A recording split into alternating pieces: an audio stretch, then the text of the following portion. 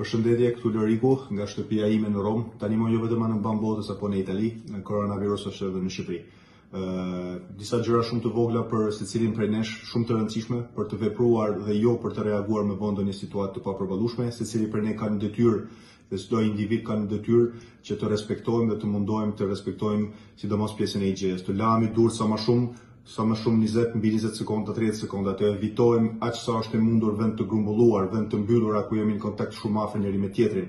Në gjendje gripale, në gjendje të cilat ftohje, në gjendje të keq fizike, atëherë më mirë të qëndrojmë në shtëpi dhe të drejtohemi numrat të cilët janë për për situatën e tillë. Më mirë që tani të bëjmë secili një sforc të madh dhe të dalim nga kjo situatë sa më shpejt.